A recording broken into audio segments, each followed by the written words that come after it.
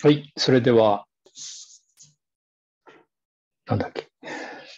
環境触媒科学特論1を始めます。えーただいま出席者8名。どんどん減っていきますね。はい。では準備しますので、しばらくお待ちください。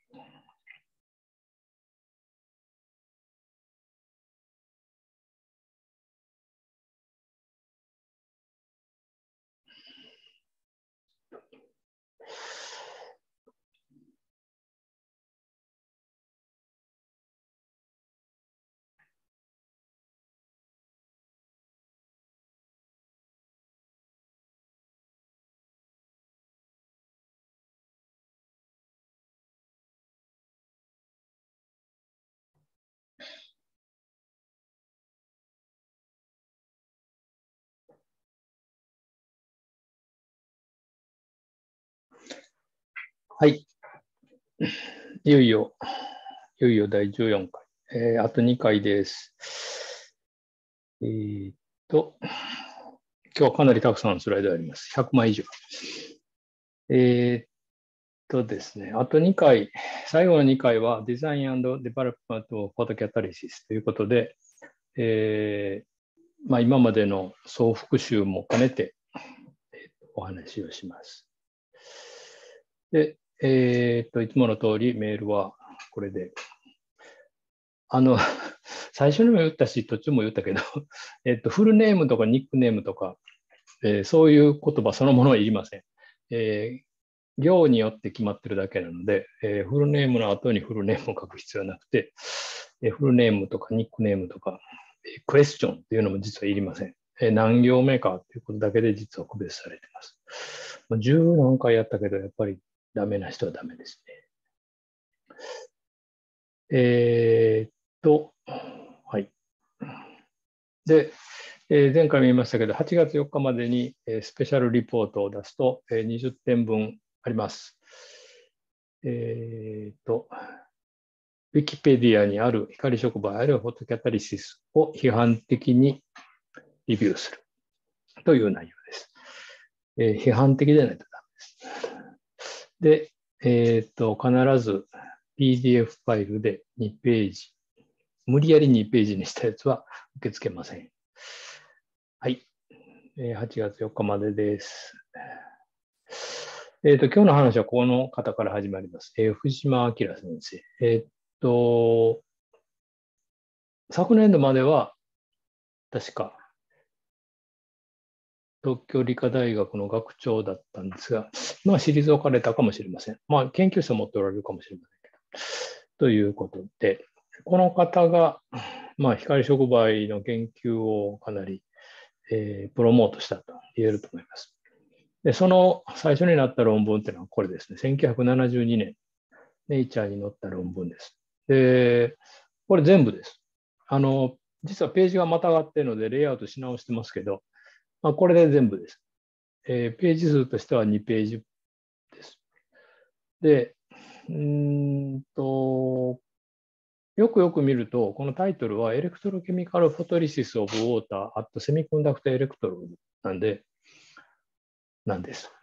でこの、この、あの、1ページの中に、えー光触媒なんて言葉は一切出てきません。酸化シタンの粉も出てきません。酸化シタンのルチルの単結晶が出てくるだけです。はい。これ光触媒反応じゃないです。全く。しかしですね、えーっと、恐ろし恐ろしく引用されてまして、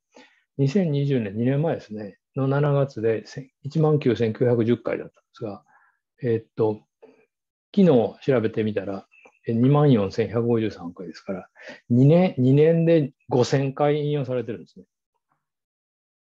すごいですね。2年で5000回ってことは、1年で2500回ですから、まあ大体1日、1日6回引用されてる感じですね。すごいです。モンスターペーパーと言えるかもしれません。でほとんどが引用してるのは光触媒の文献です。光触媒って書いてないのに、全く。この、何度も言いますけど、この文献の中には、This paper doesn't contain any uh, term of photocatalysis or photocatalyst or something. です。全く入ってない。でも、すごい引用されてます。光触媒の論文で。で、まあ、それはなんでかっていう話なんですけど、ちょっと考えてみると、じゃあこれが光触媒の最初だったのかっていうと、もちろん光触媒じゃないので最初じゃないんですけど、えっと、1971年、少なくとも1971年に、えー、このフランス人ですね、テシナー、多分、多分この人がテシナーなんですけど、えー、テシナーと、えー、あと3人の著者で書いた、ちゃんと photocatalysis という言葉がちゃんとタイトルに出てきます。 heterogeneous photocatalysis って今とほとんど同じですよね。えー、ちゃんとここにはバンドギャップ吸収で、えー、ちょっと読めないんですけど、読めないですけど、バンドギャップ吸収で、えー、3エレクトロンボルトのバンドギャップを超える吸収で、電子と正孔ができて、それが反応するって書いてあります。ちゃんと。で、この文献2万4000なんてとても引用されてなくて、えっ、と、実は、えー、昨日調べてみたら83回でした。えっ、と、50年、50年で83回ですから、1年に1個以下ですかね。で、ちなみに、えっ、と、2020年には71回でしたから、まあ2年間で12回。やっぱ1年で、1年で6回。藤島先生の論文は1日に6回ですから、もうえらい違いです。でも、少なくともこれが、あの、光触媒に関しての論文としては、藤島先生の姉ちゃんの論文よりも早いです。でもっと前にもあると思います、多分。でだから光触媒の、うん、ルーツではないです。でちなみにこのテシナーラの文献っていうのは、ちゃんとアクションスペクトルまで取っていて、この間説明しましたけど、作用スペクトルまで取っていて、で、えー、ちゃんとそれが酸化資産の吸収と合う合うんだって話をしてますし、光強度依存性解析もちゃんとやってます。すごいです。ある意味で。すごいです。えー、これほどのことがもう1971年にやられてたんですね。酸化資産に関して言うと。で、この論文、まあ、すごい引用されてますけど、こう、驚くべきことはですね、この2つの、これ電解反応の、これ電電流電位曲線っていうやつですけど、えー、それからこれがあの二質型のセルっていうやつで、え、2つの電極、こっちが酸化したんで、これが白金ですけど、まあ、その電極を入れた二質型のセルについてやった論文なんですけど、電解質がないとこの反応はいかないんですよね。で、特にこっちのやつだと2つの部屋、こう間がなんか分かれてるんですけど、1、2、3、4、5って番号ついてますけど、この1、2、3、4、5が何なのか、この本文の中にも、このフィギュアキャプションの中にもないんです。No interpretation, what is one and what is two and what is three ちょっと、ちょっとアンビリバブルなんですけど、あの、調べてみたら、1972年にはネイチャーはレフリーによる審査というシステムを取ってなかったんです。えっと、編集者が決めてたんです。掲載するかどうか。レフリーはいない。なので、まあ、編集者はもう即載せただけで、えー、レフリーがそういうちょっとおかしいじゃないかとか、なんかデータ書いてないじゃないかとかいう指摘をする暇もなく論文としては載っちゃったわけですね。で、大事なことは、どうしてこれがその光触媒の研究に火をつけたかっていうと、ポジティブデルタ G リアクションつまり、本来だったら進むはずがないエネルギーを蓄積するような反応が、この反応形によって起こりうるということを示した。で起こると言ってないんですよ。起こりうるということを示した。で、まあ、ともかく、その起こりうるかもしれない。だからそういう可能性を示されたということで、この論文を追試した人がいっぱいいるんですよ。いっぱい論文でそのうち代表的なやつがこれなんですけど、まあ、そういうの辺には、のことは、このエレクトロケミストリーという雑誌にデビューを私書きましたけど、まあ、そこにあって、まあ、ノチックって有名な電気化学屋さんですが、ライトもそうですけど、えー、これらの人がさっきのネイチャーの論文、これこれをですね、追試する論文書いたんですね。で、その追試したやつがネイチャーとかこれ有名なんですが、まあ、ご存知の方いると思いますが、プロナスって言われていて、これもまあかなりハイステータスの雑誌ですけど、そこに載ってるわけです。恐ろしいことに。じゃあ、もう追試して、それがネイチャー載ってるわけですから、まあ、そういう意味ではすごいインパクトがあったと。もうこれでデルタ G が正の反応もいくかもしれないって話です。で、今、その先ほど、あの、データが書いてないって言ったんですけど、2つの例が書かれていて、左側が1つの電解質でそこに2つの電極を入れて、その間にバイアスといって、電圧をかけたら水素と酸素が出るということを言っています。もう一つの方は、片方の部屋を高いある、pH、片方、白金の方を低い pH、まあ、酸性とアルカリ性にして、で、間に電圧かけないで、そのまま直結して、でも、その場合でも、水と、水が酸素と水素に分解するということを言ったんですね。で、これだから、その光のエネルギーだけじゃないですね。えっと、この右側の pH を変えるっていうのは、これ化学バイアスといって、まあ、左右で、まあ、いわゆるケミカルポテンシャルが違うので、まあ、これによって、まあ、一種、この外側に電池をつないだと同じようにバイアスがかかってるんです。ですから、この、この2つの例でのみ水が酸素と水素になりますということを報告した。So, Honda and Fujishima reported that this uh, the order of author is Fujishima and Honda. Uh, Fujishima and Honda reported that in two examples, the water is uh, decomposed into hydrogen and oxygen. If in external bias potential is applied, or chemical bias that is different pH electrolyte conditions gives hydrogen and oxygen. So that means uh, not implicitly says, but the hidden message is electric field in the bulk of titanium oxide electrode is necessary to separate. つまり、外部のこうバイアスをかけますということは、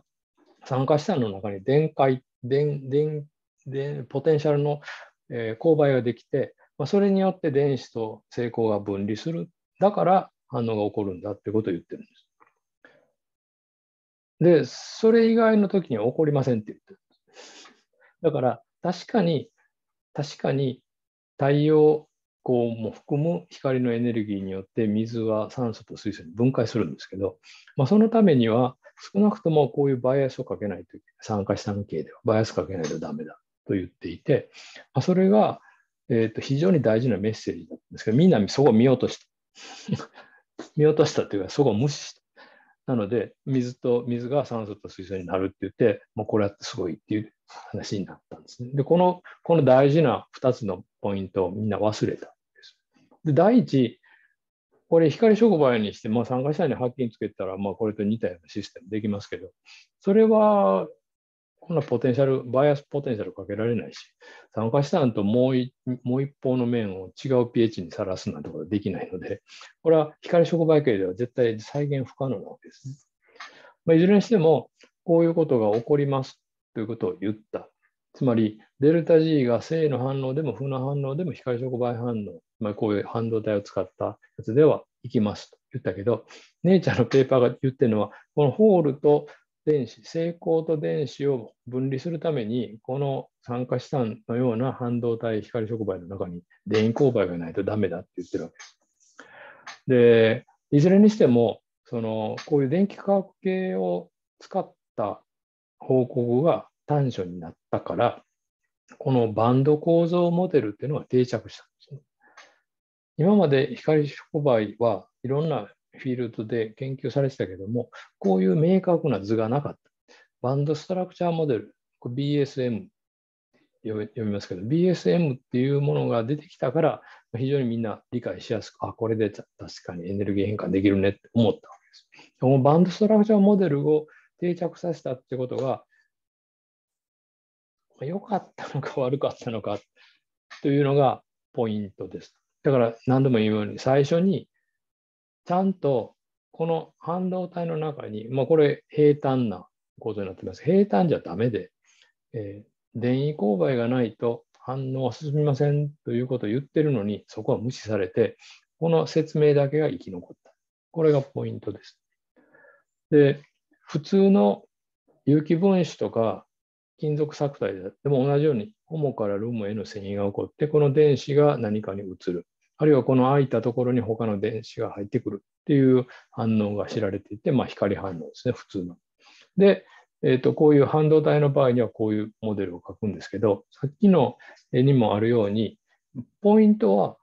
コンダクションバンドの一番下、コンダクションバンドボトムとバランスバンドトップ。この2つの位置だけで、コンダクションバンドがどこの辺まであるかとか、バランスバンドが下にどこまであるかなんて関係ないわけですね。ということは、これ単に、あ、それで、まあ、そのホールがその水を酸化して酸素を出しますっていう話をしていて、まあ、それを言ってるだけなんですけど、ただ、このホールのエネルギーっていうのは、このバランスバンドトップだけなので、結局、バランスバンドトップという線とコンダクションバトボトムという線があるだけで、これは基本的にはこのモレキュールの系と変わらないです。変わらないけど、変わらないけど、4つの成功が使われるなんて話が出て有機分子とかメタルコンプレックスではこんな話はしません。1個ずつしか動かない。これはなぜか1個ずつ動くんだということになります。でバンドストラクチャーモデルの問題っていうのは、バンドストラクチャーっていうのは、定義としては、物理的な定義としては、無限の結晶なんですよ。So the band structure model is defined in physics that is uh, eternal, the, the infinite size of crystal. No, no surface, only bulk, only crystal. That is the, uh, the definition of band structure. So there is no, no nothing for the physical um, definition of the surface. But suddenly, this is cut off to give surface, just as surface. Nothing, no knowledge on surface structure. えっと、本来バンドストラクチャーというのは無限のサイズの結晶にしか適用できないんですけど、それだと現実のものに使えないので、いきなりもうバスッて切って、で、そこの端っこがサーフェスだって言っただけなんです。で、これ、ここまで線引けるんですかっていう話は、フィジックスの人は考えてません。全く考えないです。だあの溶液とかに接しないので、そんなこと考えない。で、ケミストリーの場合はサーフェスがないと話ができないので、サーフェス作りますけど、これ勝手に作ってるだけで、これなんか意味のある、こうちゃんとですこうやって切っていいんだねっていう話ではないです。でもいきなり切っちゃった。で、本来だったらジャンクションっていうのがありまして、えっと、まあ今でもよくジャンクションっていうのを使うんですけど、ジャンクションっていうのは、たこういうセミコンダクターとメタル、あるいはセミコンダクターと溶液みたいなものの接合って言ってくっついたときに、その間で電荷の移動が起こって構造が変化するということなんですね。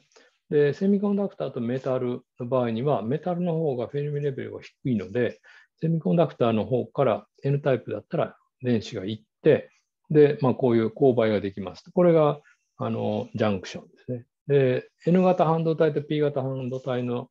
界面も PN ジャンクションっていうんですけど、電荷の移動が起こって、新たな構造、表面に、えー、界面に構造ができるっていうやつです。で、えっと、こういう溶液との海面でどうですかっていう話は昔はやってました。1970年代とか80年代には酸化酸をはじめとする光触媒のが溶液と接したらこういう勾配ができるんだとかいう議論はいっぱいあったんあったんですけど、あったんですけど、えっと、こういう勾配ができるっていうのは、このドナーレベルっていうところ、まあ、このドナーレベルですね。っていうところに電子があるからで、でその密度が低いと、こんなことできないわけですね。で実際によく計算してみると、ドナー密度は非常に低くて、そうすると、一つの粒子、例えば100ナノメートルの粒子の中にあるドナーの量を考えると、勾配の幅っていうのが100ナノメーターを超える。つまり、その内部には勾配はないっていう結論になってしまうので、みんな忘れちゃった。忘れちゃって、もうみんなこの線線で、水平の線で書くことにしたんですけど、まあ、本来だったらこういう勾配があって、この勾配の中で光が吸収されたら分離しますっていう話だったのが、いつの間にかなくなっちゃったんです。で、結局バンドストラクチャーモデルっていうのは、バルクの性質しかもともと言ってなくて、で、サーフェスがどうだっていう議論は全くなくて、で、しかも、そのサイズがどんだけだっていう話は全然関係ないわけです。だから、そのバンドストラクチャーモデルっていうのは、バルクのことを言ってるだけで、サーフェスがどうですねって、表面を例えば変えたらどうなりますねとか、サイズが変わったらどうなりますねっていう情報は一切出てこない。というわけです。So the band structure model cannot important, this is important, cannot describe the surface structure or dependence on size. No information is included in this band structure model for surfaces and the size of particle. So this is the limitation of use of band structure for um, the particulate heterogeneous spot catalysis. で、もう一つ大事なポイントは、先ほど言ったように、こういうそのセミコンダクター、えー、半導体を使ったときに、えっと、水が分解できますっていう話をしたんですけど、水が分解できるっていうのは4つの成功が絶対いるんですね。So, for liberation of oxygen from water, it is necessary to provide four, at least four positive hole to water to give one molecule of oxygen. But there is no information how those positive holes are accumulated in this balance band. So no, no discussion, nothing. so actually, that is unbelievable, but nothing. No, no discussion how those multiple positive holes or electrons are accumulated in one particle. So it is impossible to discuss any possibility of such a multi-electron transfer by using band structure model. なので、バンドストラクチャーモデルっていうのは、全くその多電子移動反応に関しては何にもし教えてくれない。もうこういったものが1個できたら、まあ、それが4つ集まって反応するんですって言ってるだけです。そそんなバカなと思いますけど、それが現状です。すごいでしょ。で、もう一つは、これ、あの、セミコンダクターエレクトロードもだけではなくて、その電極を使った電子移動反応、電極反応については、標準電極電位っていうのを使います。標準電極電位っていうのは、あの、まあ、これ、それを説明する暇は、時間はあんまりないんですけど、あの、実は、標準の意味が非常に大事なんですね。標準。So probably you have, uh, you, you, you know the, this term, uh, standard electrode potential, SEP. The important point is what is standard? Standard means all the activity. Activity is uh, defined as uh, activity coefficient multiplied with concentration. まあまあ、ほとんどあのアクティビティっていうのはコンセントレーションと一緒なんですけど、そのコンセントレーションがすべて1である。というのが標準という意味です。で、標準はこの電極の電極範囲の中に含まれているすべてのスピーシーズのアクティビティ、あるいはコンセントレーションが1であるって決めてるんです。その時の電位が SEP なんですね。なので、水素と、まあ、プロトンが絡んで水素が発生するって反応があって、プロトンの濃度は1、モルパーリット。で、水素のは1バール、1アトムだと言ってるわけです。で、それだけですかって言うと、実は電子も入ってるんです。で電子も反応の中に関与してるんですけど、電子のアクティビティは決められないので、1にしてるんです。無理やり。いや、1で、1ですよって言ってるだけです。で、普通の電極だったらいくらでも電子は供給できるので、1でもいいかもしれないんですけど、光触媒反応とかこういう、こういう光でできた生成するこのやつが activity 1ですか？って、 concentration 1ですか？って、それはちょっとおかしいですよねっていうわけです。だから、まあ、はっきり言うと、 band structure model っていうのはかなりいい加減なディスカッションをしていることになると思います。で、えー、っと、先ほど言った multi-electron transfer のこと全く考慮できていない。だから、 standard electrode potential の意味としての電子の活量っていうのがきちんと評価されていないという問題があります。でさらに、えー、っと、この2つの上の2つの問題があるんですまずこの DOS の方の話をすると、えっ、と、オプティカルバンドギャップっていうのがあって、まあ、いろんな測定法がありますけど、まあ、普通は吸収スペクトルを使ってオプティカルバンドギャップっていうのを求めます。オプティカルバンドギャップっていうのは単に工学的にどこまでの光を吸収するか、まあ、紫外光領域からこう超波長側に持っていってどこまで吸収するかっていうのが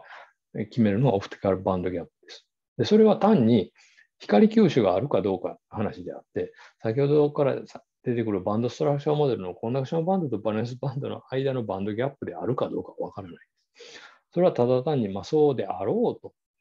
言ってるだけに過ぎないわけです。で、大事なポイントは、こういうふうにバレンスバンドからコンダクションバンドに光利益が起こるということを言ってるんですけど、この中は均一なのかっていうと、最初の方の講義で出てきましたけど、均一じゃないんです。そう should be considered that the distribution of states in valence band and also conduction band. And in the important point is negligible DOS, density of state at the top of valence band and bottom of conduction band. 電動体の加担とこの過電子体の上端っていうところにはドスはゼロなんですまあ、物理的にはドスっていうのはゼロにはならないんです。物理の世界ではゼロというのはなくて、え無限に小さいだけなんですけど、まあ、ほぼ現実的にはゼロになる。あの、よくこういう DOS の計算を、えー、してるのがありますけど、よくよく読んでみると、ある密度よりも低いものはゼロとするって禁じしてるんですよ。それで、それじゃないと決めようがない。こう無限にずっあとずっとずっと進んでいって、どこまでもあるので、ものすごい密度低いんですけど、あるので、あの、本当はバンドギャップっていうのは物理的には求められないんです。で、なので、あの、これを、まあ、分離り切ってるんですけど、まあ、それでも、まあ、非常に、まあ、ほぼゼロだってわけですね。で、だから、このバンドギャップの光、ちょうどバンドギャップの光を使っても何も起こらない。何も起こらない。何も起こらないっていうのは、だから、このギリギリの光を当てても何も起こらない。実は。ということなのに、バンドギャップだけは問題になるというわけです。で本当は、バレンスバンドの中でも比較的度数の高いところ、コンダクションバンドの中でも比較的度数の高いところの間の遷移が一番起こりやすい。もう実際にはほとんどの電子と成功っていうのはこの位置でできている可能性が高いわけです。で、まあ、それだけです。で、だから別に、まあでも結果として電子と成功の能力っていうのはあんまり変わらないんですけど、でも、光吸収はどこで起こってんのって言ったら、ここで起こってる。だからそこがポイントなんですね。例えば、ナチュラルフォトシンセシスの、まあ、いろんな光合成の色素、いわゆるクロロフィルと呼ばれるようなやつっていうのを評価するときに、クロロフィル A とか B とか、まあ、いろんな名前の、え、ピグメントが入ってますけど、じゃあなんで評価してるのかって言ったら、それはピークです。そのギリギリ吸収できる、例えばこの赤いやつが、えー、ピコエディシンっていうやつらしいですけど、これ600ナノメーターまで吸収しますなんてことは議論しないです。えっ、ー、と、これはだいたい550ナノメーターぐらいの光を主に吸収しますっていう話をするのに、半導体の光触媒反応では、もうこのギリギリのここが大事ですって言ってるわけですね。実際に反応が起こってるのはここなんです。そういう話が出てくる。というのがポイントです。ですから、そのバンドストラクチャーモデルっていうのは、こういう現実的にはどこで光を吸収しているのかって、どんな波長が一番有効なのかって話が全く出てこない。で、つまり、この度数を意識してないってわけですね。So, the band structure model ignores DOS. Actually, the, the high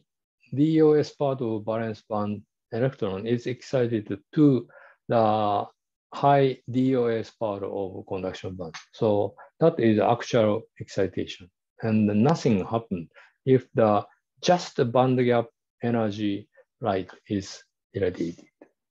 なんですね。でもう一つの問題点は、光が、こう冷気が起こりますっていうときに、それは何だって起こるのかっていうわけですね。これはホルマルデヒドです。ホルマルデヒドの分子っていうのは、えっと、ここは C で、C、これ CO 結合。で、CH、CH2 つ。まあ単純な3つしか結合ないですね。えー、です。で、ホモというのは、これが、これがホモです。これがルモです。で、このホモからルモへ光定期が起こるのかって言ったら、これは近星と言われています。これ N パイスター冷気って言うんですけど、まあ、ここに一番ホモ電子の密度が高いので、ここからここへ行くには軌道が重なってないんですね。So, no overlap of orbital of this CO oxygen to P orbital and to the pi orbital of なので、えっと、この、この N パイスター繊維というのは近性繊維、つまり起こり得ない。まあ実際には、あの、ちょっと歪みがあるので起こるんですけど、まあほとんど吸収がないんです。で、実際に起こるのはホモより一つ下のこのレベルです。このオービタルとこのオービタル非常によくオーバーラップしてます。なので非常に起こりやすい。で、これパイパイスター繊維と言いますけど、ですから、オービタル、これ重なってなければ、冷気は起きないというわけですね。だから、ここの一番高い度数のところがこの高い度数のところ行くって言いましたけど、でも、じゃあこのオービタルっていうか、その空間的にこのバランスバンドのオービタルがどこにあるのかって、これは酸素にあるんです。ほとんど酸素にある。で、この電動体の方はどこにあるのかって言ったら、これは金属のイオンのところにあるんですね。だからそれは基本的には重なってないんですよ。だからこれ重なりがなかったら吸収は起こりません。だからいくら高い高いって言ったって吸収は起こらないわけで、そのドスのとこをよく考えないと、えー、わからないというわけですね。で、原理的に言うと、一番大事なこういう光触媒反応、光反応で大事なのは、 photoexcitation と electron transfer。So the two important thing in a photocatalysis or uh, ordinary photo reactions that is one is photoexcitation and one is electron transfer. What is the necessary conditions for excitation and electron transfer? That is for photoexcitation, the, the two orbitals must be spatially overlapped. For electron transfer reaction, it is necessary to two orbitals, source and destination. The two orbitals must be overlapped spatially and energetically. Without those overlapping, it is impossible to make any electron transfer. これ、ある一つのオービタル、もう一つのオービタルがあって、これ空間的に重なってなければ、フォトエキサイテーションは起こりません。でもエネルギー的にこう離れてるから excitation が起こるんですね。で、 electron transfer が起こるっていうのは、2つの orbital が空間的にどこか重なってないとダメです。で、同時にエネルギー的に重なってないとダメです。だからこれ電子移動って言うんですけど、空間的に移動する必要はないんです。動動いてない。電子はもともとこの青いところにあった。で、でもそこにオーバーラップしてるこのピンクの軌道のに乗り換えただけです。位置は変わってない。 excitation も位置は変わらないです。電子が場所が変わるのかって場所変わらないです。ただエネルギーが違うところに乗り換えただけです。これも一緒です。エネルギー、 electron transfer というのは、なんか電子がコロコロコロっと転がっていって、隣に行きますなんて思うかもしれないけど、そんなこと絶対起こらないです。そう動くための driving force がないので。で、実際には重なっているので、 orbital が。重なっているので、もともと青いところに電子はできたけど、いつの間にかそれはピンクの方に乗り移ってました。というだけです。これが electron transfer です。なので、結局何がポイントになるのか、光触媒で何がポイントになるのかっていうと、それはサーフェスオービタル。光触媒の表面に電動体や家電子体の、まあ、端っこがどんな形でどこにオービタルが出てるのか。それがポイントです。で、さっきも言いましたように、バランスバンドというのは基本的に酸素。コンダクションバンドは金属です。だから、成功の乗っかってるオービタルっていうのは、まあ、表面に出てるとしたら酸素の近くにある。で、おそらく電子の方は金属用の近く。それはそうなんです。だからもうそういう議論は全くない。で、バンドストラクチャーモデルは全くそのことで議論できないわけです。だから、バンドストラクチャーモデルにはもちろん限界があって、その一つの例は、こういうふうな、こう非常に微視的な、ミクロスコピックなphotoexcitation とか electron transfer に関しての知見を全く無視しているというところがポイントになります。で、一番大事なポイントは、ET っていうのは electron trap なんですけど、 identification ができていない。つまり、バンド構造を示したら、そのバンド構造を示したことによって、その試料を特定できるのかというと、特定できない。さっきも言ったように、バンドストラクチャーは単にバルクの構造を示しているだけ。バルクの構造がどうだったらバンドストラクチャーこうなりますって言ってるだけなので、バンドストラクチャーを見ても、絵を見ても、それは、あ、これは参加したのはアナタースですねってバルブの構造わかるけど、でもサーフェスの情報入ってません。パーティクルサイズも入ってません。だから特定できない。だから一つの金属酸化物、あ一つの結晶系だったら全部バンドストラクチャーモデル一緒なんです。なので全く特定していない。だからその特定していないというのが非常にポイント、問題になって、今日はその話をします。あと、あと1時間ぐらい。で、その話は何をやったかっていうと、RDB パス、リバーストダブルビームフォトアコースティックスペクトロスコピーっていうのを開発しました。2010、まあ、ペーパーが出てたのが2016年ですね。で、これを使うと、えー、enables measurement of ERDTCB パターン。ERDT というのは Energy Resolved Distribution of Electron Trap。電子トラップのエネルギー分布と CBB はコンダクションボト。これを足し合わせたまあ、一種、まあ、スペクトルもとも言いますけども、我々はパターンと呼んでます。で、主にセミコンダクター。まあ、 semiconductor なくてもあの出てきますけど、まあメ、 metal oxide が多いですが、がのパターンが得られると。でそれを使うと、 identification ができる。で、こういう固体物質を identification できるというのは初めてのコンセプト。今までないコンセプト。それから detailed characterization。まあ、非常に、えー、詳細なえー、構造解析が可能になるということを、えー、提案しています。で、大事なのはこの electron trap という話です。で今日の主体、今日の話の主題はこの electron trap ということです。はい。で、えーまあ、この中には有機化学が専門の方もいらっしゃるから、当然、まあ、普通にご存知だと思いますけど、有機化合物は同定しないと報告できません。これすごいです。ある意味すごいです。えっ、と、私も有機化学に関する論文はいくつか、有機合成に関する論文いくつか出してますけど、JOC とかテトラヘドロンとか、えー、パーキンとか、まあ、昔ありましたけど、パーキンとかに出してますけど、そこにあるものを合成しましたって報告しようとすると、同定しないと絶対載せてくれます。だいたいもう審査にもかかる。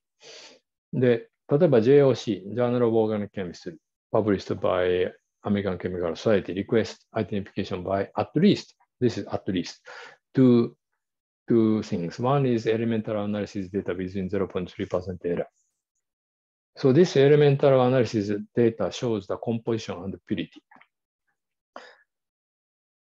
えっと、今までその有機合成で論文書いたことのある人、ある発表したことある人、研究してる人だったら分かると思うんですけど、0.3%以内に元素分析合わせるっていうのは簡単じゃないです。すっごい簡単な化合物でも0.3%以内の元素分析に合わせようとするとめっちゃ大変です。場合によっては5回とか6回とか再結晶して、まあ、最初があの 100mg あったのがもうあと 2mg しかありませんみたいな 状況まで持っていかないと0.3%エラーに入るような元素分析の値得られません。でもう一つ NMR。まあ、これ比較的、例えば簡単ですけど、やっぱり不純物いっぱい出てきますので、えー、それをきちんと分けないといけないという話があって、まあ、少なくともこれやらないとダメです。で、絶対に乗りません。同定されてないものは絶対に乗りません。これ大事なポイントですね。で、What is the result of identification of chemical substance? 同定したら、したってどう、どういうことになったら同定したって言えると思いますか？どうぞ。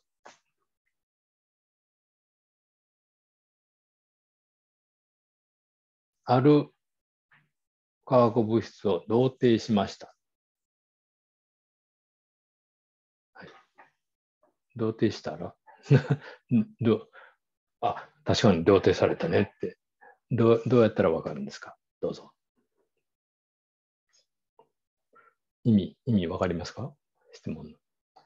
If you don't understand the meaning of this question, please raise your hand.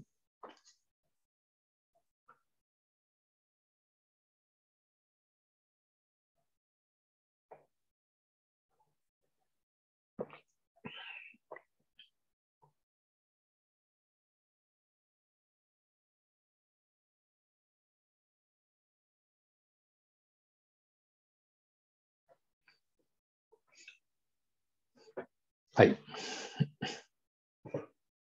手を挙げました。えっと、so the meaning is, if you complete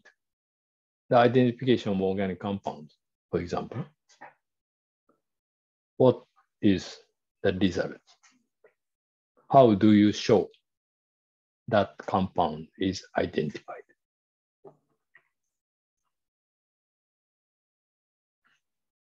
はい。これ、有名なパリトキシンっていう毒素ですね。えー、パリトキシンっていうのは、うんとね、確かハワイのどっかにいるイソギンチャクだったかの仲間が持ってるやつで、で昔は原住民はこのイソギンチャクから多分ね、ちょっとわかりませんけど、えー、イソギンチャクはその毒素になるこのパルトキシンの成分のやつを取り出して、それを矢に、矢の矢尻に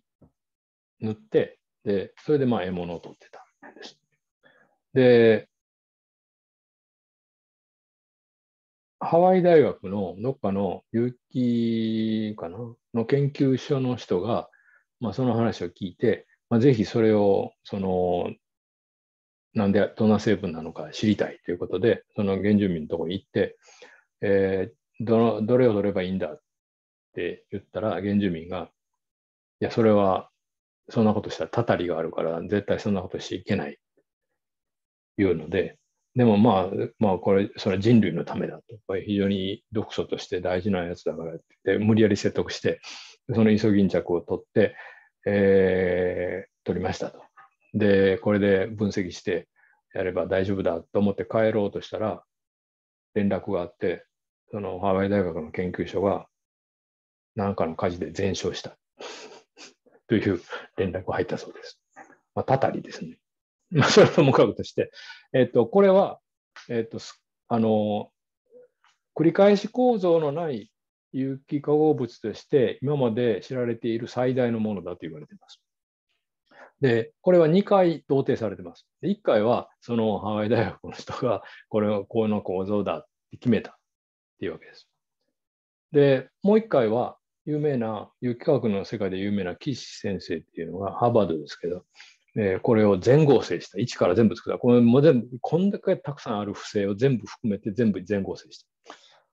で、だから少なくとも2回同定されてる。まあ、それはもちろんペーパーになってる。で、2回同定されてるってどういうことかって言ったら名前を付けたってですこれが正式名称です。ちょっと後ろ見えないところありますけど、これが正式名称で、もうこれが同定したってこと。同定したってことは、これ IUPAC 名って言いますけど、 International Union of Pure and Applied Chemistry。その、そこが付けた命名規則によって決めたこういう名前を付けたということです。で、これどういうことかっていうと、ユニークだってことです。この名前は、この構造しか示さない。もう必ずこの名前はこれ以外の構造を示さないんです。だから、この名前を付けたってことは、この構造を決めたってことだから、同定した。だから、同定するっていうのは、名前を付けるってことです。で、その名前がユニークな。この名前が、この構造を唯一特定する。このこう名前は必ず絶対他の構造ではなく、この構造を示すという名前を付けるのが identification。同定ということです。なので、えー、 identification とは、to be uniquely named reflecting structure 構造を反映したユニークに、ユニークな名前。それ以外の名前はない。ユニークな名前を付ける。これがアイデンティフィケーション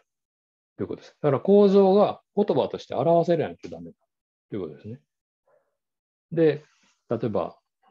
こういう固体の物質、無機化合物、酸化チタン、カーボナイトライド、グラファイト、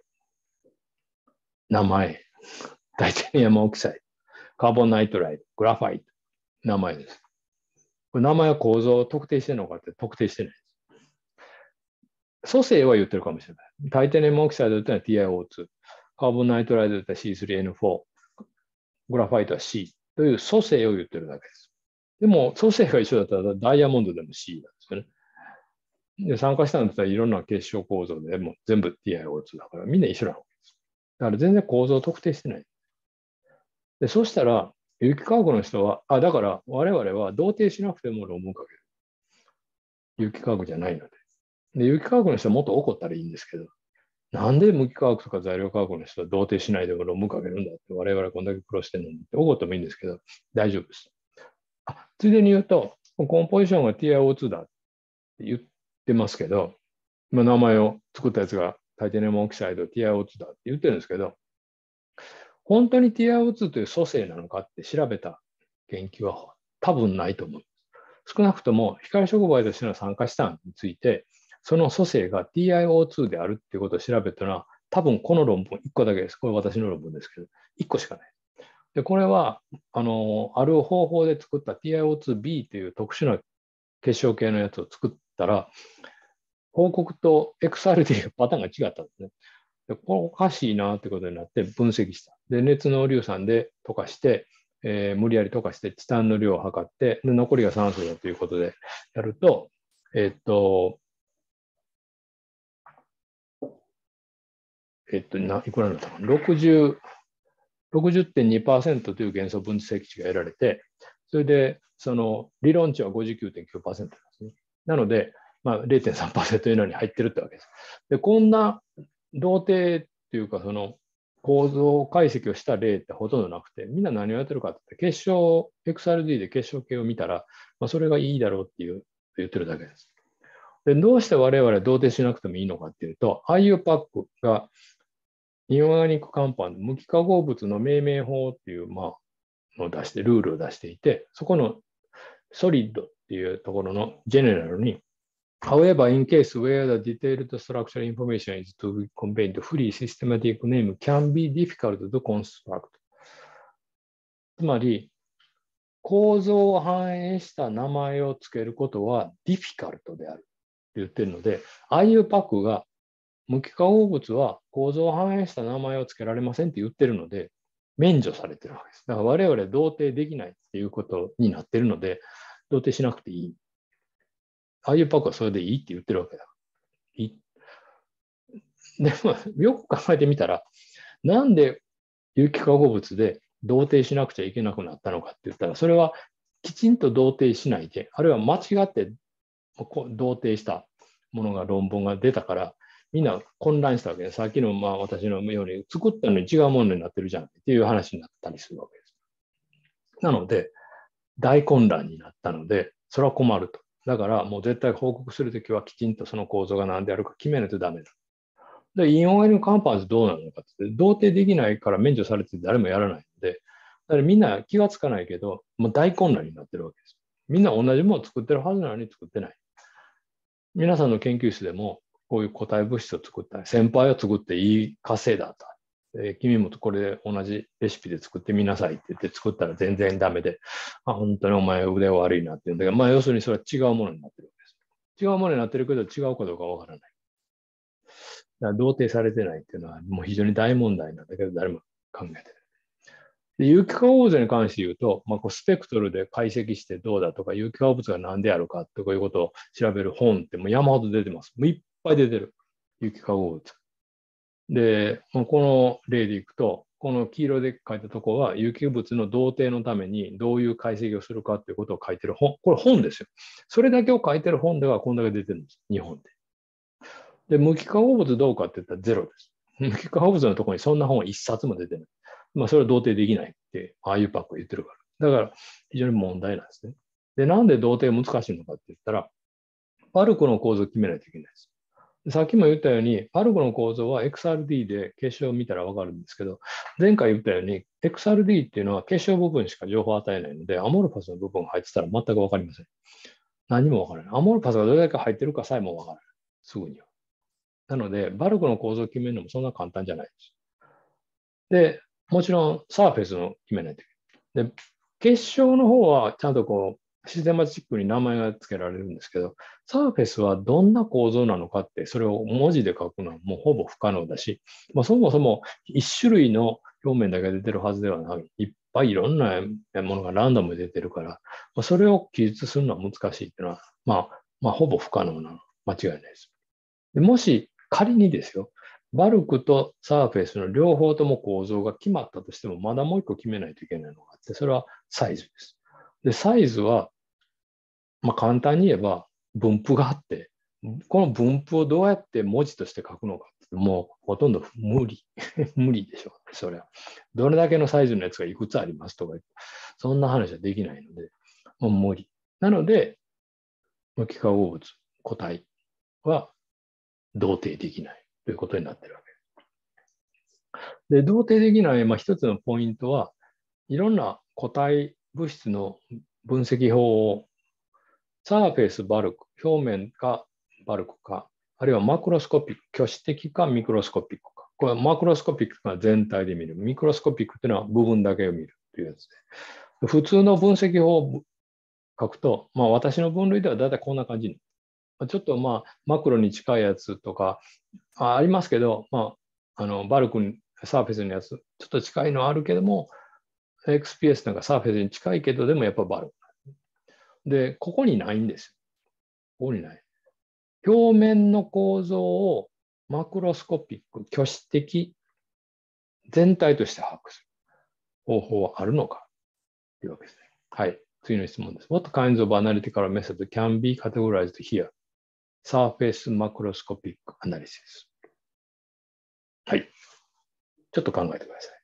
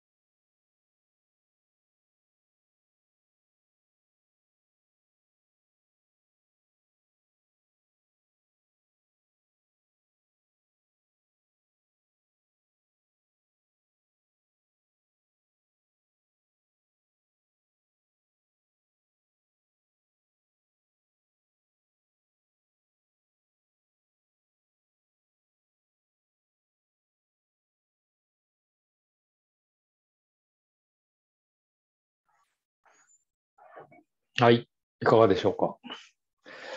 えっ、ー、と、ないんです。ほとんどないんですね。えっ、ー、と、考えられるのは、例えば、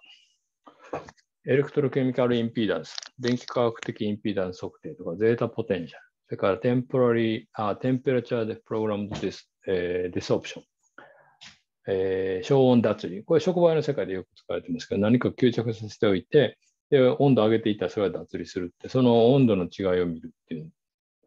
まあ、一応、サーフェスマクロスコピックなんですけど、もうほとんど適用範囲限られてます。So, this is not a, they, they are not a comprehensive method. So, not applicable the wide range of、uh, samples なんです。そこが非常に大事なポイントで、サーフェイスをマクロスコピックに測定できれば、ひょっとしたらうまくいくかもしれないですけど、ない。なので、結果として、as a result, crystalline phase that is、uh, detected by XRD, primary particle size also detected by XRD by using Scherer equation. And uh, secondary particle size, the particle size analyzer can predict this size distribution and the specific surface area. These four parameters, the only possible characterization of solid materials in general. まあ一般的に言うと、この4つぐらいしか調べることできません。構造。で、 specific surface area には surface という言葉が入ってますけど、これはサーフェイスの構造の情報は全く入ってません。同じ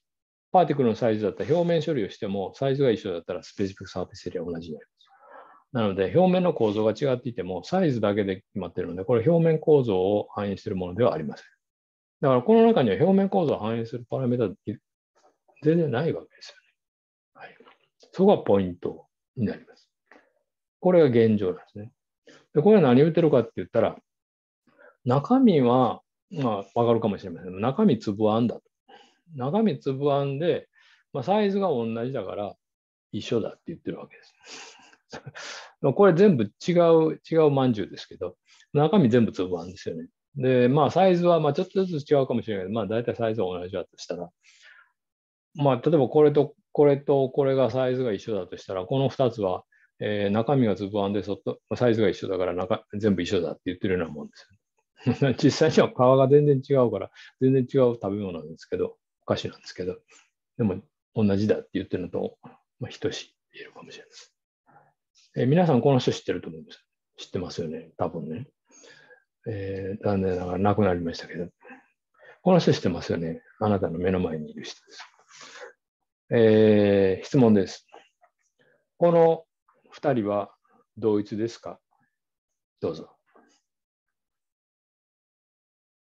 手を挙げてもらうだけでもいいや。じゃあ、えー、同じ人だと思う人手を挙げて。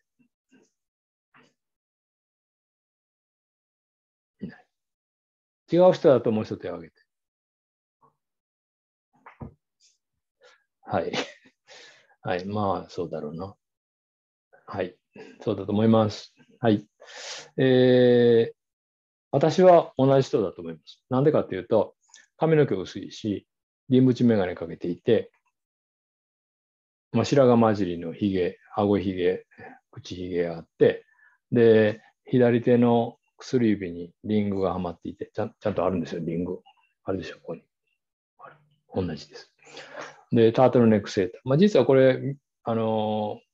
一世三宅で、でこれはユニクロだから、まあ、ちょっと違うといえば違うんですけど、まあ、黒のタートルネックセーターであるということは同じです。で、第一、ハンサムでしょ。だから、さっきの粉末の測定数の4つしか測定してなかったのに、これ6つ、6, 6点一緒なんですよ。一緒ですよね。同じです。でもみんな納得しない。違うんだって言うかもしれない。でも、もしフィンガープリント、指紋を示されて、この2人の指紋が一緒だったら皆さんは同じだと思わざるを得ないわけ。同一だと。フィンガープリントが一緒だから。って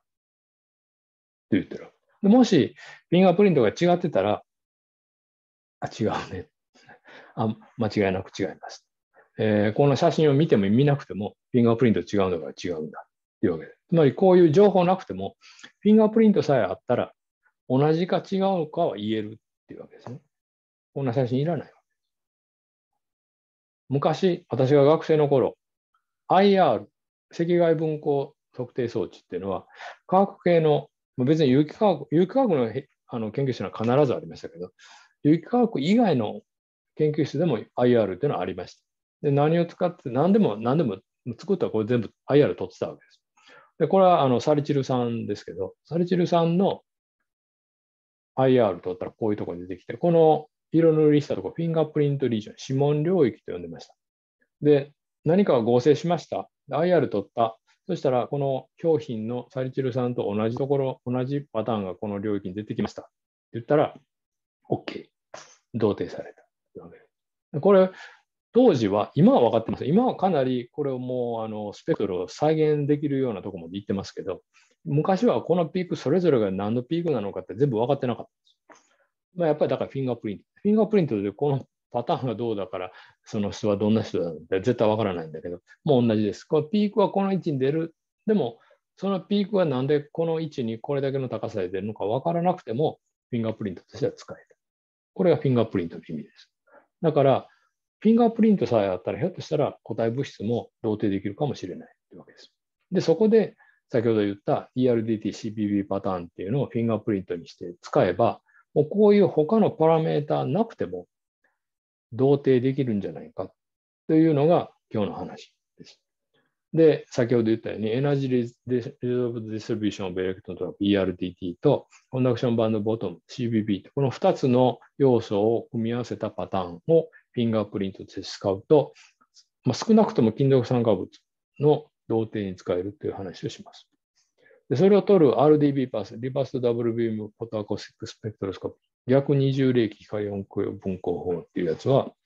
簡単に言えば、こんなことになります。えっと、多くの金属酸化物は、バンドギャップ内に何らかの空の電子順位があると考えられています。で、まあ、その意味はともかく、まあ、まあ、なんか仮定として空の電子順位があると仮定します。でそうすると、バレンスバンドに電子詰まってますから、そこへ、その電子トラップに直接光で気させることは可能なはずです。まあ、光吸収するはずです。まあ、実際には吸収スペクトルにこういうのが出てこないので、ものすごく弱い吸収であることは間違いないんですけど、でも可能性としてあるわけです。で、バランスバンドにその時成功ができちゃいますから、それを例えばメタノールかなんか入れておいたら、メタノールがその成功を取り去るので、冷気した電子は元に戻れなくなる。で、そうすると、こういう空の電子順位に電子がたまる。つまり、この金属酸化物を含むこういう資料が還元されると、新たに色がつく。例えば酸化したんだったら灰色になりますし、酸化炭素だったら青い色になる。その新たに出てきた吸収を光音響分光法という、これは音で吸収を測定する手法です。これは変調光って言って、えーまあ、強弱をつけるか、あるいはチョッパーっていうやつでオンオフを繰り返すような光を当てる。そうすると、音が発生したり、吸収があれば、音が発生してそれを検出できるという手法です。でこの測定法のすごいところは、この直接利益に使うのは、これはコンティニュアスライト、つまり一定の強度の光ですね。で、その光は全くこの測定に影響を与えないということです。全く同じ波長の光、625で、このこっちの方の光も625でも、これがあるなしっていうのは全然影響を与えないというのがポイントです。で、この2つのビームを同時に入れて測定して、えー、電子トラップに電子を溜めて、その溜まった電子の光吸収を見るという手法です。で、えっと、セットアップこんな風になっていて、えっと、サンプルは XRD と同じようにへこみの中に詰めて、このセルの中に入っています。えー、ここについているのがマイクロフォンですね。で、2つのビームをこの combiner って合わせて試料の中に導くという形になっています。で、この左上がその実際の結果で、その励起する光を長波長側から短波長側にスキャンしていきます。そうすると光音響信号がだんだんだんだん増えていく。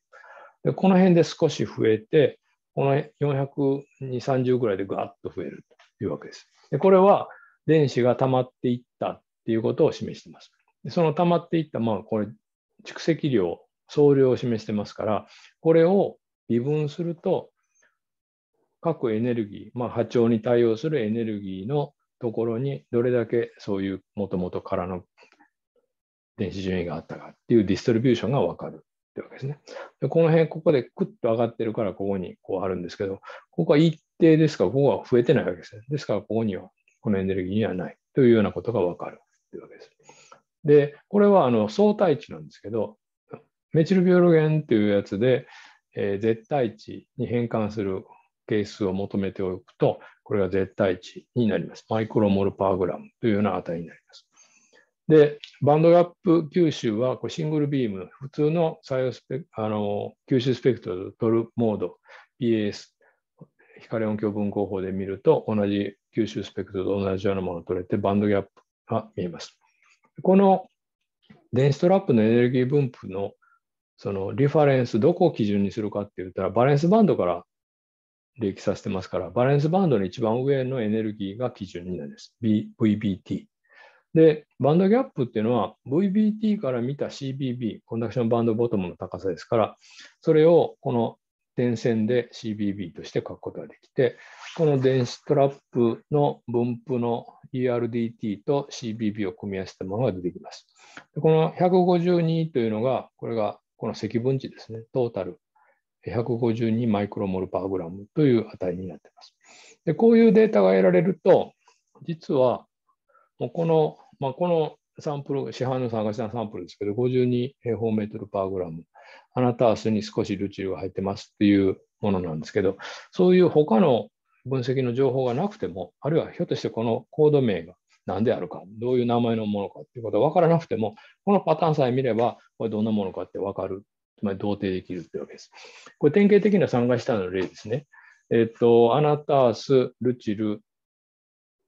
もう一個ブルカイト、ブロックアイとかあるんですけど、ただ、アモルファスでも出てきます。で、あのアナタースとかルチルとかブロックアイトによってどうもこのパターンが違っているように見える。アモルファスはちょっと上の方に出てくるっていうのは見え、わかるんですけど、でも別にそれはバルクの構造だけで決まってるわけではありません。例えば、アナタースだけ含まれてるサンプル、ルチルだけ含まれてるサンプルを見ると、この CBB の線の位置は一緒です。つまり、バルクの構造がアナタースあるいはルチルだから CBB は一緒で、この CBB のこの点線はバルクの構造を表している。だけど、例えば、この TIO13 っていうのと一番左端の TIO1 って、大体同じ非表面積で、まあ、同じような総量97と105っていうのを持ってるんですけど、パターンの形全然違いますよね。つまり、これは表面構造が違うと違うんだっていうことを表している。で、これが非表面積に対して総量をプロットしたもので、とてもまあ直線関係だっていうのは難しいんですけど、まあ、かなりえー、はっきりしていることは、非表面積が上がっていくと、トータル電子では上がっていって、もうざっとこの線を引くと、大体その密度が1平方ナノメートルあたり1個、電子トラップ ET があるんだということになります。で、これは何意味してるかっていうと、ここで測定している電子トラップ、あるいは空の電子順位っていうのは、たまたまできた、ランダムにできたようなものではなくて、まあ、酸化したんだら酸化したんの表面に大体一定の密度で存在している。おそらく表面の最高性コードの中に一定密度で存在しているんじゃないかということですね。でそれをどうも示しているわけです。で結果として、この測定方法は、このなかったサーフェスマクロスコピックな情報を与えているいうことになろうかと思います。まあ、表面構造が違ったら、同じ流形でも同じバルクでも違うものを与えているというわけですね。で、先ほど同定するためにバルクの構造と、バルクの構造と表面構造とサイズ、これが大事だという話をしましたけど、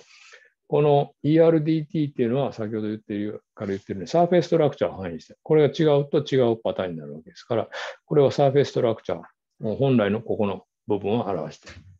で CBB っていうのはバルクの構造を表しているので、まあ、これは XRD で結晶系を求めると同じような意味がある。そして TD、トータルデンシティっていうのは、先ほど言ったように、非表面積に比例してますから、これは非表面積とに変わるような、つまりサイズを表しているというわけですね。つまり、この ERDT-CBB パターンっていうのは、そのバルクの構造、結晶の、えー、表面の構造あ、結晶だけに限らず表面の構造、そして総量、えー、サイズを表すという3つの大事な要素を全部含んでいるという意味で、非常に有用であるということになります。で、参加資産の市販品で調べてみるとこんな感じになりまして、えー、まあ、似てるのはあるんですけど、よく見ると微妙に違うんですね。だからほとんどの市販品全部違うパターンを示す。つまり、これが一種のフィンガープリントになっている可能性が高いということです。まあ、有機化合物の AMR のパターンとまあよく似てると言えるかもしれません。で例えば、え、ー、と、これはヨーロッパでよく使われるんですけど、ミレニナミレニナムっていうところの、えー、アクティブ TIV っていう酸化資産なんですけど、えー、ここで4つ書いてます。で4種類の酸化資産があって、これ同じ製造法で、ただ、流形、つまり非表面積が違うだけっていうことになっててるんですけど、よくよく調べてみるとこんな感じで、微妙に違いますよね。だから、この50っていうやつと100で非表面積がかなり増えるんですけど、この段階でどうも表面構造が変わってきている。バルクの構造はそれほど大きく変わらないんだけども、表面構造はかなり違ってきているということがわかります。だから今まで評価してたのが、表面構造は評価してなかったので、ほとんどサイズが違うだけだって言ってたんですけど、表面構造も違う。これは酸化資産のフィルム、えー、白膜ですね。まあ、あの透明なフィルムです。でこれを見ると、えっ、と、作り方によって微妙にこのピーク位置が違っていて、もうこれは会社のサンプルなんでちょっと名前を伏せてますけど、えー、同じ原料から作っても作り方が変えるとどうも違うものになっている。で、これは他の測定方法では絶対わかりません。それからチタニアナノチューブっていうのはよく知られていて、これはあの、えー、北大工学部の幅崎先生の研究室との共同研究なんですけど、えー、普通はチタンの金属板を電解酸化すると、こういうナノチューブ、これはあの電極を垂直方向、上から見たんですけど、こういうナノチューブと呼ばれる酸化チタンの構造が生じます。で、分析法ほとんどなくて、まあ、調べるって言ったらもうこういうセム、操作型電子顕微鏡のイメージを見るぐらいしか、えー、調べようがなくて、他に分析手段はなかったんですけど、まあ、これを調べると、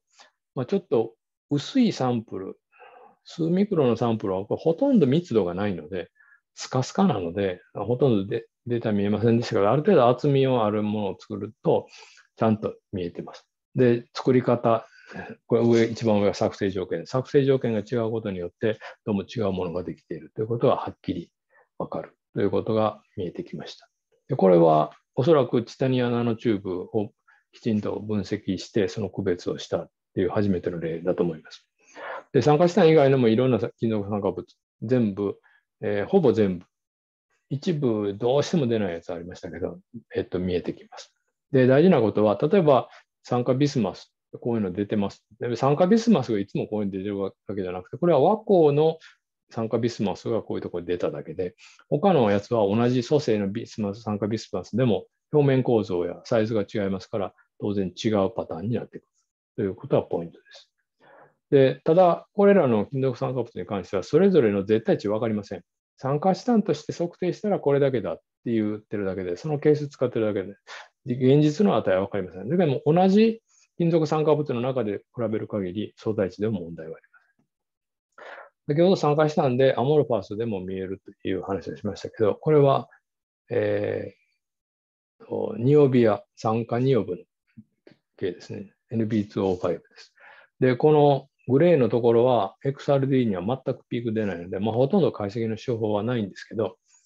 それでもちゃんと出るし、まあ、ほとんど結晶化したやつとあんまパターンは変わらないです。この左の上下が、えー、と元の出発物ですねで。出発物はもう明らかにパターン違いますから、違うものの。えー、おそらく酸化2億じゃない別のものなんですけど、まあ、それをこの温度で調整していくと、だんだん結晶化、まあ、変わっていって、このパターンが似てくるということは、出発物は違うけど、で焼いていったら、調整していったら大体同じものになってるんだということがわかります。で、おそらくこれもちゃんと尿ビア、酸化尿部の分析して初めての例かと思います。で、まあ、非常にバンドギャップの大きい金属酸化物は、まあ、ほとんど絶縁体ですから、こういうものでも出ますし、えー、ジルコニアとかシリカとかアルミナ、これ純粋なやつはちょっと出ません。というのは、バンドギャップが非常に大きいので、この測定装置では測定できないんですけど、ちょっと何かドープしている、あるいは混ぜ物がある、不純物があるものは出てくるというポイントがあります。で、非常に今まで見る見る見ることができなかったような違いっていうのがこれで現れてくる。C3N4 っていうのも、これ非常に簡単に合成できる、まあ、無機の半導体材料で、光触媒をはじめとしていろんなものに使われてますけど、もうほとんど同じなんです、分析したら。で、これは、えー、出発物の原料を変えて、まあ、例えば酸素が入ってるやつとか硫黄が入ってるやつも含めて、この3番目のやつ、ちょっと窒素がが元率が多いですね。まあ、そういうものでやったらどうなるかということを九州大学との共同研究でやった例ですけど、XRD を見るとほとんど変わりません。まあ、バルクの構造変わらないですよ。多分こういうこう違うヘテロアトム、ヘテロ原子っていうのは表面にくっついていて、まあ、バルクの構造をほとんど変えてないというわけです。でもこれを調べてみると、こういうふうにちゃんと違いが出てきて、酸素が含まれてるやつは、この低いエネルギーのところに出てきます。で、普通の酸素が入ってないやつを使っても、空気中で作るとちょっとやっぱり酸素この、これと同じように低エネルギー側に出てきますし、硫黄が入ってると、さらに低エネルギー側に P が出てくる。で、こういうふうに、これまあこれは表面構造を反映していて、こういう硫黄とか酸素とかそういうものっていうのは表面に含まれているいうことがわかりますし、その構造の違いっていうものがこれではっきりした。まあ、これもおそらく C3N4 の表面構造を含めた解析の初めての例だというふうに思います。で、ポイントはですね、えっと、先ほど有機化合物の同定の場合は、同じか違うか、デジタルだったんです、ね。0か1なんですよ。アイデンティカルなのかディファレントなのかどっちかなんですけど、あのパターンの場合は、似てるか似てないかっていうのが出てきます。コインシデンス、一致度。今これゼータと表しますが、一度のゼータっていうやつが高いやつは、まあ、アイデンティカル、同じだということになりますし、まあ、その一度が低い、0%、あるいは低いということになったら、違うということです。間もあるということですね。0と100の間の値も。つまり似てるっていうのも評価できるというわけです。まあ、ここは有機化合物の同定の場合と全く違っていて、まあ、似てる、似てないという話。まあ、やっぱりこういろんなこう分組成の分布がありますから、まあ、それが影響していると。で、それを確認するために数値化しようと考えました。で酸化資産の、市販の酸化資産3、えっ、ー、と、取ってみました。で、これ同じサンプル、えー、市販の酸化資産 FP6 っていうやつですけど、それの瓶のできるだけ同じところから3回測定した。で、見たらわかるように非常によく一致してるんですけど、この一致度を定量的に解釈するために、まず形、ゼータ A っていうやつは形です。えーと、このパターンの曲線のが似てるかどうか。でこれは絶対値は関係なくて、曲線が似てるかだけです。でそれを、えーと、1から0の値、1だったら同じ、0だったら全然違う。で、トータルデンシティ、この数値ですね。これが似てるか、えー、同じかどうかっていうのを1と0の間で評価する。だからこの CBB の位置ですね。これも1と0の間で似てるかどうか判断して、まあ、ちょっと時間がないので説明省略しますけど、まあ、ちょっと重みをつけて、全部3つの部分一致度を掛け算してトータルのオーバーオールの一致度を求める。そうすると、この3つの3回の測定の2つずつの組み合わせ、どれをとってもゼータの値が0.88以上、だいたい0.9、一番高いですで0.94ぐらいまでいきましたけど、の値になりました。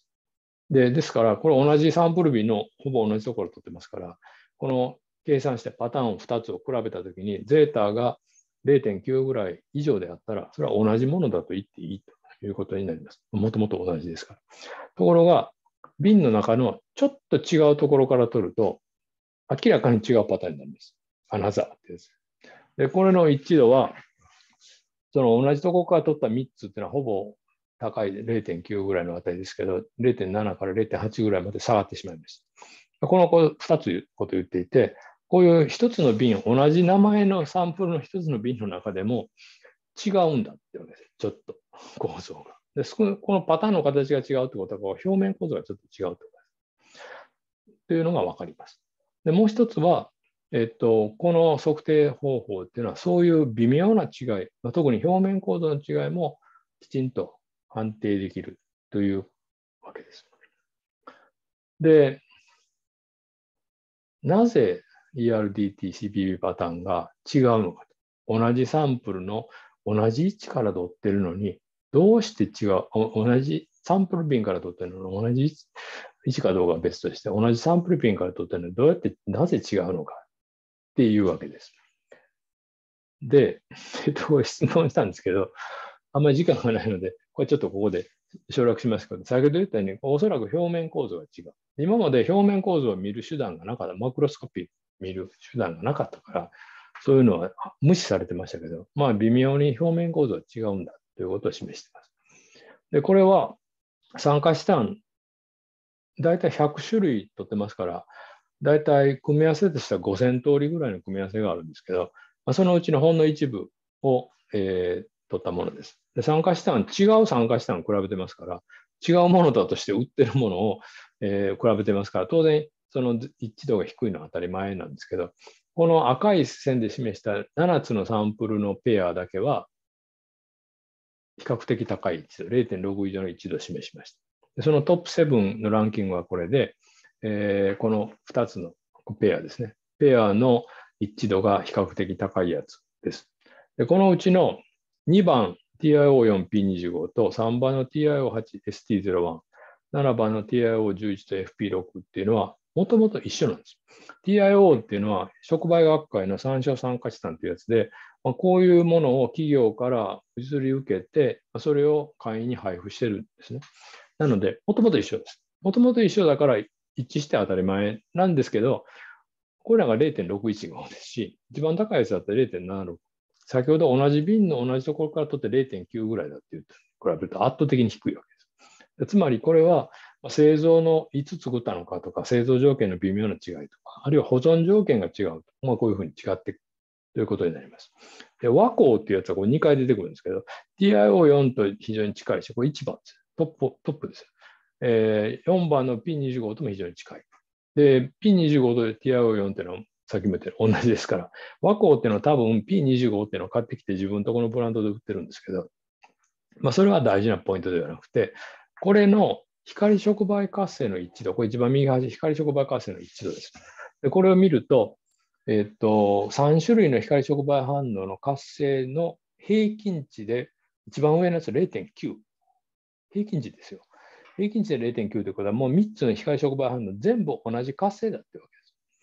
つまり、それは何意味してるかっていうと、和光っていうのは、ひょっとしたら P25 じゃなくて自分のところで作ってるのかもしれないですけど、もうほぼ P25 と同じものを作れたってことですね。同じ活性ですから。で、この光触媒活性の一致度っていうのは、このかゼータの値が下がっていくと、だんだん下がっていく。つまり、煮れば煮るほどこれは上がっていくっていうわけです。まあ、だから非常にいいその一致度っていうのはちゃんと評価してるんじゃないかっていうことを示しています。それをもっとはっきりさせるために、この3種類の光触媒反応の活性の一致度、これは1個の点が2つの酸化シタンの活性を比較した値ですね。でこの辺のこのこの緑だったら0.5ですから、片一方が半分しか活性がないってわけです。で、この横軸がゼータ、そのペアのゼータの値、ERDT、CB パターンを比較した結果です。それを見ると、まあバラバラですよ。これ全然関係ないよねって言うかもしれないんですけど、ここに線が引けるんです。つまり、ゼータが高いやつは、低い一致度の光触媒活性の一致度のデータは出てこない。必ず上の方にあるってことですね。これをもうちょっとはっきりさせるために、この全部のデータの移動平均っていうのを取りました。でそうしますと、こんな風になる。つまり、えっ、ー、と、まあ、これをもうちょっと分かりやすくするとこうなって、ゼータの値が0.6よりも低かったら、たまたま一致してたり、たまたま一致してなかったりすることによってこう大きく触れるんですけど、0.6を超えるとぐーんと上がっていくわけです。で、ゼータの値が0.8を超えるともうほぼ1です。つまり、ゼータの値が0.8を超えたらもうほぼ同じ活性だってわけですね。3つとも、どの反応形でも。つまり、この、あそれでこれを実は論文で投稿したら、審査員がそんな当たり前じゃない。参加した、似てる参加したの使ったら似てる光触媒活性が得られるのは当たり前じゃないかって言うんですけど、でもよく考えたら、今までそんな似てるか似てないかどうやって評価してたんですかって、その評価なかった。これが初めての手法。ちゃんと、だから逆に言うと、初めてちゃんと2種類の酸化チタンが似てるか似てないのかっていうことを評価することが可能になったというわけで、めでたく受理されました。で私は、まあ、協調者はあんまり好きじゃないみたいですけど、私はこれエレファントプロットって呼んでいて、まあ、多分世界で初めてこういうタイプのプロットっていうのを出したんではないかというふうに思っています。で、えっと、今まで光触媒をはじめとして、セミコンダクティングマテリアル、バンドギャップと電子トラップがあるやつってやつは、なんで評価されてきたっていうと、 bulk の composition を XRD パターンで見て、 bulk のサイズを nitrogen adsorption、つまり比表面積で求めてて、 surface structure 評価してなかったです。でも、この RDB パスという測定手段を使うと、 bulk の composition は CBB では、他のやつ、XR で取らなくても、えー、 bulk のサイズは total density でわかる。で、えー、サーフェイスストラクチャーは ERDT に反映される。つまり3つの要素全部を含んだものになっているというわけですね。で、ポイントは、まあ、あんまり時間ないですけど、ポイントは、ERDD パターンが同じであったら、それは同じものですから、さっき言ったように、アクティビティ、まあ、光触媒活性ですけど、別に物理的な特性でもみんな同じになります。今までこれが同じで、これが違うかったっていうのに遭遇したことありません。これは同じ、あるいは似ていれば必ずこれ似ているというわけです。で、逆に言うと、違う活性とか特性を持っているやつは、それがもし ERDT-CB パターンを取れれば、それは絶対違うはずです。なんでかというと、もしそれが同じだったら絶対同じになるわけで、違う特性を持っているということは、違うパターンを示すに間違いありません。で、まあ、これを2ペアを見てるわけですね。でだから、矢印の方向はこっちからこっち、こっちからこっちです。だから、 property があの同じだったとか、あ違うかった。まあ、その property の方から言えるのは、 different だったら different っていうだけで、違うたまたま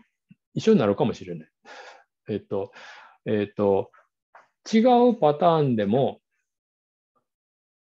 活性が一緒になるかもしれない。だから活性の方から見ても、実はパターンが予測できないはずだってわけですね。まあ、いずれにしても、あそれで、えっと、先ほど言ったように、この、さっき説明しませんでした、プレグルっていうのは、この有機化合物の元素分析を初めて、えー、実用化した人です。えー、スロベニアの人ですけど、スロベニアは非常に有名な科学者です。この人がいたから元素分析できるので、今もこの時、19世紀に発明されたのと同じ方法で元素分析が行われています、基本的には。でですから、フィンガープリントを取るという意味においては、えー、このプレグルとしては、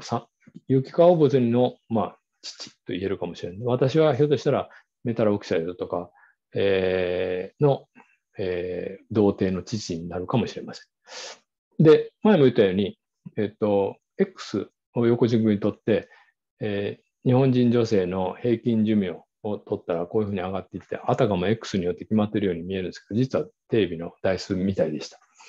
で、ですから、なんかこう、アクティビティがあって、まあ、なんか別の X があって、それがこういうふうに増えていくからといって、アクティビティとかパフォーマンスが X によって決まってるなんてことは実は言えませんという話をしたと思います。これひょっとしたらテレビの台数みたいなものかもしれないわけです。で今まで酸化チタンを含めて光触媒活性は何によって決まってるのかって、 composition によって決まってるとか、こう crystal こう、えー、 structure に決まってるとか、 particle size、specific surface area とか、 facet がどうだとか、今いろんなことが言われてきた。これは全部 X だ。本当に、まあ、その一部、こんなグラフが出てきたとしても、X と activity を出てきたとしても、まあ、これは本当かどうかわからないわけですね。で、そこでちょっと違うことを考えてみました。この3種類の光触媒反応の、まあ、これは水素を見てたり、CO2 を見てたり、酸素を見てたり、この3種類の全然違う異なる種類の光触媒反応の活性の順番にパターンを並べてみたっていうわけです。それだけ。えっと、一番、左上が一番あの高くてで、それは相対活性100です。それがダーッと下がっていって、もっぺん折り返して、左下が一番低くて、水素が生成する系だと一番低いやつが6、CO2 は10、酸素に至っては1まで活性が下がる。で、まあこれ時間があったらこれ見てもらうんですけど、あんまり時間ないもうあと、あと5分です。えっ、と、まあ、どう、なんか法則性ありますかっていうのは、実は法則性あります。一番上はダメです。CO2 と酸素に関して言うと、70%ぐらいまでの活性のものは、大体同じパターンになってます。で、それ以下はもうバラバラなんです。一番いいやつはほとんど近いんだけど、それ以下はバラバラな。ということはどういうことかっていうと、一番上のやつは、まあ、いろんな要素がバランス取れてるんだけど、それより活性が低いやつは別の理由で活性が落ちてるんです。非表面積が低いから落ちてるですとか、他の結晶系がどうだから落ちてるですとか、まあ、いろんな理由があって落ちていて、その理由がそれぞれ違うからバラバラなパターンになってるわけです。だから、市販品で作るような製法で作ると、これ以上高い活性のやつが出てくる可能性ちょっと低いです。だからちょっと全然作り方変えないといいやつは出てこない。で、水素に関して言うと、これ実は白金を光析出させて2段階の反応なので、その2つの要素が絡み合っています。逆に言うと、水素発生だと、この端っこの100よりももっと高い活性のやつが出てくる可能性もあるということを意味しています。で、えっ、ー、と、リービーヒスローオブミニマム、最小率、リービーヒの最小率というのがありました。これは植物の成長に関するものですけど、それは植物の成長には例えば光が当たるとか水があるとか養分がどうだとかいろんな要素があるんだけどもそのうちで一番低い要素によって成長速度は決まる。高いやつ、例えば日照が非常に高くても何か足りなかったらそこでもう速度が決まってくる。この他の要素は関係なく一番低いところで決まってますっていうのです。で、この話にどうも近い可能性がある。で、えっと、トルストイのアンナ・カレリナの冒頭の一節は、Happy families are all alike. Every unhappy family is unhappy in its own way. という、まあ、さっきの一番火星の高いやつはみんな同じだったけど、違うやつはみんな違う理由で落ちてる。なので、Active photocatalysis powders are all alike. Every inactive powder is inactive in its own way. だから、ちょっと火星の低いやついくら調べても、多分火星の高いやつは出てこない。というわけです。で、今日の話は物質の同定で有機化合物以外の無機化合物の個体で同定できる可能性があると示しました。でこれができるということは、次は何が言えるかというと、ピュリティが言えるかもしれない。今まで酸化したんとか、そんなものでピュリティがどうだなんて論文見たことないでしょ。でそれがひょっとしたら言えるかもしれないという話を来週続きとしてやります。はい。今日の以上はこれまでです。ちょっとオーバーしました。すいません。えっ、ー、と、いつもの通り、72時間以内にメールを送ってください。今日だったら PC の2022-0721です。順番は、この subject と同じものが1行目、2行目が電子メール、3行目がフルネームで、これはフルネームとかニックネームとか書く必要ありません。えー、名前とニックネームとでコメント、あるいは質問。で、えー、今日出てきた質問1個か2個しかなかったんですけど、その答えを書いて、えー、メールを送ってください。はい。で、先ほど言いましたように、エクストラポイント20ポイントは、え、4日までのメールで、え、可能であります。はい。えー、ということで、今日の講義は以上で終わります。最後は18人ぐらいいましたね。はい。それでは、今日の講義おしまいです。次回が最終回になります。はい。お疲れ様でした。